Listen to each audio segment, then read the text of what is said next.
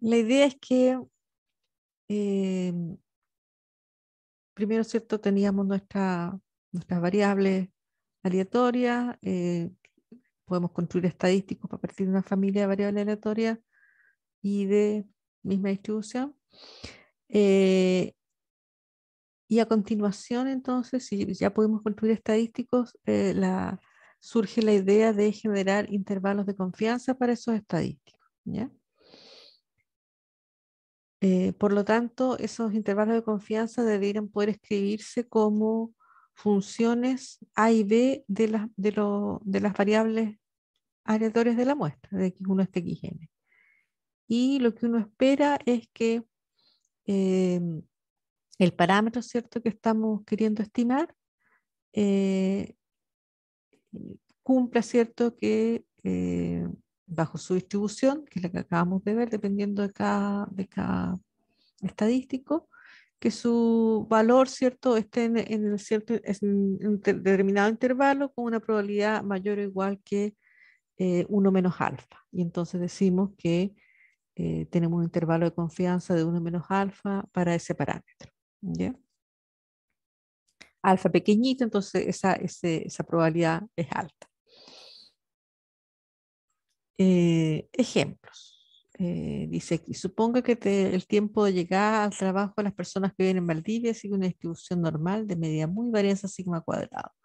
Considere que se tiene una muestra aleatoria de 45 personas que trabajan en Valdivia, cuyo promedio tiempo de llegar al trabajo es 21 minutos, con desviación estándar muestral de 9 minutos. Al calcular el intervalo de confianza al 91,5%, más adelante vamos a ver cómo hacerlo, para la medida de la muestra, usando la distribución test student, se obtiene un intervalo de 18,3,23,7. Entonces, a partir de los datos que tenemos, eh, podemos calcular este, estos bordes, ¿cierto? El A y el B, tales que ese intervalo tenemos eh, dado, ¿cierto? Que suponemos que son los datos provienen de una normal.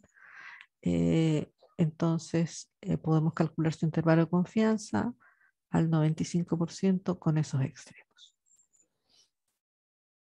Eh, algunas interpretaciones de los intervalos de confianza que, a veces suelen ser erróneas. Por ejemplo, dice, eh, al 95% de los 45 trabajadores les toma entre 18,3 y 23,7 minutos llegar al trabajo.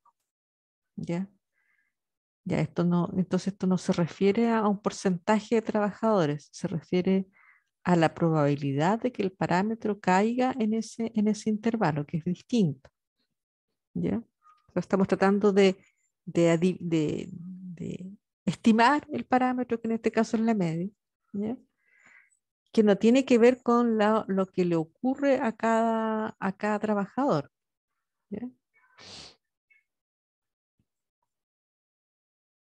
Porque recordemos que, bueno, es una normal sigma cuadrada, entonces eh, los, tiempos que lo tome a cada trabajador no, solamente no, eh, son aleatorios finalmente, siguiendo una normal, pero siguen siendo aleatorios.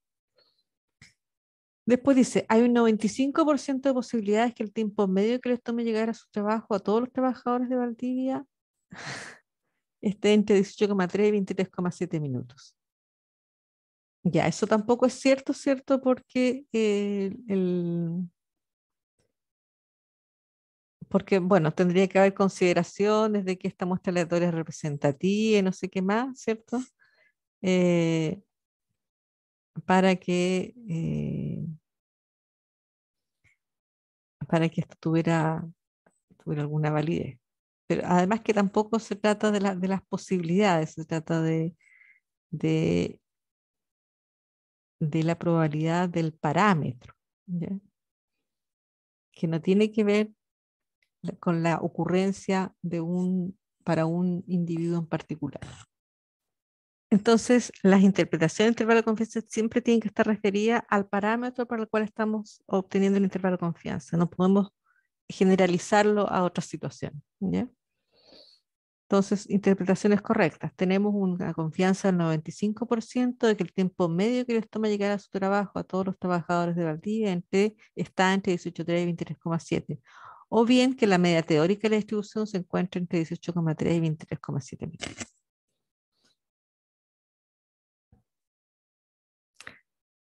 algo que se parece un poco al, al, 2i del erróneo es si se extrajeran múltiples muestras aleatorias de la misma población y se calcularan los intervalos de confianza del 95% de cada muestra, esperamos que la media de la población se encuentre en el 95% de sus intervalos o que el 95% de los intervalos contenga la media teórica. ¿ya? Esas también son interpretaciones correctas del 95% de confianza. ¿Cómo logramos calcular un intervalo de confianza? Necesitamos la distribución de probabilidad del estimador puntual. Es el único modo de, calcular esos intervalos. Bueno, es uno de los modos, pero es el más habitual. Y por supuesto, esto eh, es, em, este cálculo en general no es eh, explícito, salvo casos muy específicos como este que estamos considerando, que es el de distribución de datos normales. Eh, todavía hay varias eh, distinciones que hacer. Por ejemplo, una distinción es que si estamos estimando la, media teórica, el MU, va a ser distinto si la varianza es conocida o si es em, desconocida. ¿Ya? Porque si la varianza es conocida, entonces directamente tenemos Fitch Cochrane, ¿cierto? El correo que vimos recién, tenemos que tenemos un estadístico Z que sigue una normal 0,1, en donde está involucrado este parámetro que estamos queremos estimar.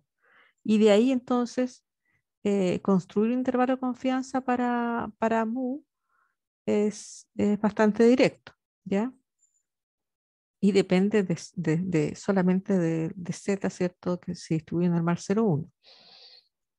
El intervalo de confianza, ¿cierto? Despejando aquí mu, va a ser exactamente eh, eh, x barra menos eh, el, el, el, percentil, ¿cierto? De Z alfa medios por sigma raíz de n y x, x, menos eso, x más eso, ¿cierto?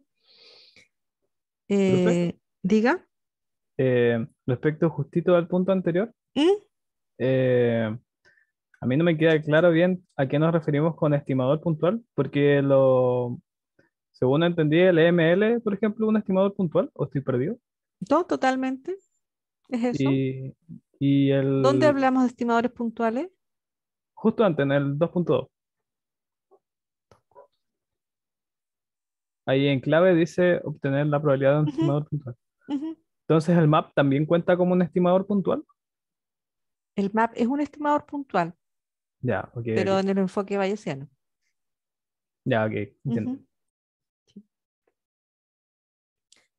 Eh, claro, pero aquí vamos a usar el estimador, eh, vamos a trabajar siempre en el contexto de inferencia paramétrica, ¿cierto? Sería el estimador máximo verosímil. ¿ya? El estimador máximo verosímil de la media es X barra y tenemos que se cumple esta, que tiene la gracia, ¿cierto? De que X barra menos mu sobre sigma raíz de n es sigma normal 0,1. Y de ahí entonces directamente podemos calcular el intervalo de confianza para mu, porque al despejar ahí en z mu, nos queda, lo eh, nos queda la probabilidad, podemos escribir una expresión, ¿cierto? quizás faltó un paso aquí, una expresión en que, pero que simplemente x barra el, valor muestral, digamos, o sea, de, la muestra específica, menos el z de la normal 0,1 es menor o igual que mu eh, y a su vez mu es menor o igual que x más eso, ¿cierto? Eso se obtiene de, de reemplazar el valor de z en esta desigualdad, ¿sí? estamos despejando mu aquí, ¿ya? toman esta probabilidad, o sea, toman esta misma probabilidad, eh, reemplazan por z, despejan mu en la desigualdad y van a llegar a que la probabilidad de que mu esté entre este, este, sea mayor o igual que esto y menor o igual que x más es 1 menos alfa. Y por lo tanto, entonces, el intervalo, ese es el intervalo de confianza para mu. Em, otro ejemplo, ¿cierto? Numérico, supone cuando una señal de valor mu es transmitida desde, una ubicación A, el valor que se recibe en la localización B sigue una distribución normal de media mu y varianza 2, entonces 2 conocido. Considere que para reducir el error se envía a 9 es el mismo valor, los asociados valores recibidos son los que están ahí. Construye un intervalo de confianza al 95% para mu. Entonces se calcula X barra. Eh, por otra parte, sabemos que, el, que en la normal 0,1 el, eh, esta probabilidad, ¿cierto? El, el el, percentil, ¿cierto? Z alfa medio es, justamente 1.96. Entonces eh, podemos calcular el intervalo de confianza como bueno, la medida es 9, la, la varianza empírica es, ¿por qué la varianza empírica? ¿Para qué me sirve aquí? Ah, no, el sigma, la raíz cuadrada. La raíz cuadrada de, de, sigma, o sea, sigma, que es la raíz cuadrada de 2, y el rango entonces lo calculamos y nos queda entonces que, el, que la señal debería estar entre 8.07 y 9.92. ¿ya? Sería el intervalo de confianza para, para ambos. Eh, entonces, este sería como el caso más sencillo. Luego tenemos un caso un poquito, un poquito mayor de complejidad, y es que supongamos que queremos lo mismo, calcular el intervalo de confianza para mu, pero ahora tenemos una distribución, tenemos datos que provienen de una, de una distribución normal mu sigma cuadrado, pero no conocemos la varianza, ¿ya? Y en ese caso, entonces, tenemos que ocupar eh, el, estimador eh, eh, máximo verosímil de la varianza, que es S cuadrado, que cumple, ¿cierto?, que esta nueva distribución, en que ya no reemplazamos el sigma por S, sigue una T. Entonces, nuestro intervalo de confianza, que es lo que yo le mencionaba, que es como el, el intervalo de confianza más clásico, se construye a partir de la distribución T y en donde se reemplaza el sigma por el S. ¿ya? Entonces, la, misma expresión que teníamos con Z, la tenemos ahora con T y ese sería el intervalo de confianza. Eh, en el ejemplo anterior, entonces, si en lugar de utilizar eh, ese valor conocido 2, utilizáramos la desviación estándar de los datos como, como su estimación, eh, como la estimación de la varianza, el nuevo intervalo de confianza, entonces ustedes se fijan, eh, es bastante más amplio, ¿ya? de 6,6 a 11,3, porque no tenemos información adicional sobre, sobre la distribución de los datos y calculamos su, su varianza a partir de la varianza empírica. Eh, la gracia de construir todo esto proviene de que tenemos el teorema del límite central que nos dice que em, que en el caso de, datos que no pueden tener normal, si tengo una cantidad suficiente de datos, la media sigue siendo, sigue distribuyéndose, o sea, se aproxima a una normal 0,1. ¿ya? Y más aún, eh, tenemos el teorema de Slutsky, que nos dice que esta aproximación también es válida en el caso de no tener, de no conocer la varianza de, la distribución, sigue, seguimos aproximando normal 0,1. ¿ya? Y esto tiene que ver con esto que habíamos dicho antes, que la T, cuando el N es suficientemente grande, ya a partir de 30, es casi, es, es, muy similar a una normal. Por eso, por eso existe esta aproximación. Entonces, si tenemos muestras suficientemente grandes, eh, el intervalo de confianza normalmente lo, lo, construiremos a partir de simplemente de esta, de esta expresión. ¿ya? en donde hemos reemplazado el sigma por la varianza empírica. Un tercer caso que nos va a servir después para cuando hagamos, eh, trabajemos con test de hipótesis es eh, obtener un intervalo de confianza para diferencia de media de dos distribuciones normales con varianzas conocidas. ¿ya? También existe la posibilidad de que sean varianzas conocidas, pero un, primer ejemplo sería este. Entonces, supongamos que en el fondo eh, este, este intervalo de confianza nos permite eh, determinar si dos, eh, qué tan parecidas son dos poblaciones en términos de, de sus medias. ¿ya? Típicamente está asociado a eso, este cálculo de intervalo de confianza. ¿ya? Entonces tenemos dos poblaciones, cada una con sus medias, y queremos obtener un intervalo de confianza para la diferencia de las medias. Em, entonces, eh, de nuevo suponemos independencia entre, entre las muestras, por lo tanto el X menos Y sigue siendo normal, con nuevos parámetros, ¿cierto? que se puede obtener eh, del, cálculo de, la, de varianza y de, y de, y de media, eh, de, las funciones esperanza y varianza, ¿cierto? Se puede deducir eso. Y entonces tenemos que, podemos construir un Z normal 0,1 a partir de, de esos valores y de ahí calcular el intervalo de confianza. Em, aquí hay una pequeña sutileza que vamos a ver después en, la, las tres hipótesis, que aquí estamos comparando entonces el comportamiento de dos poblaciones, calculando un intervalo de confianza para su, para su, para su diferencia. Típicamente si eh, una, una conclusión a la que se llega habitualmente es que si el cero está contenido en este intervalo de confianza, entonces decimos que no hay diferencia entre las dos poblaciones.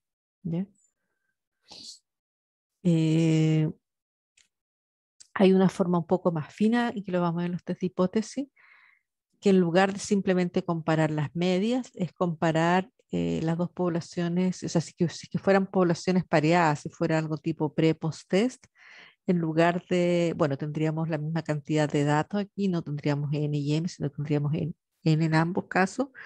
Y ahí entonces lo que se busca más bien es, estimar la, eh, la media, cómo se distribuye la media de las diferencias, X y menos Y, y, ya como puntualmente.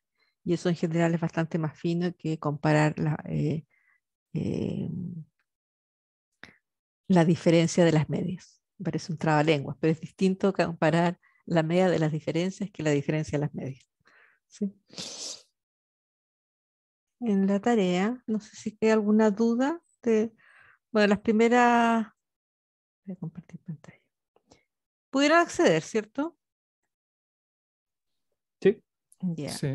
La primera son, son demostraciones, ¿cierto? Em, la primera se hace por construcción, la segunda también es construcción, eh, básicamente la, para la 2 y 3i. Em, la 3 es, como reemplazar, eh, es aplicar el teorema. Eh, la 4 em, es utilizar un poco lo mismo que se hizo antes con, con em, para el cálculo de las distribuciones, considerando entonces S en lugar de, sigma para el cálculo del intervalo de confianza.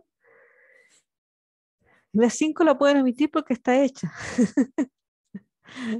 Em,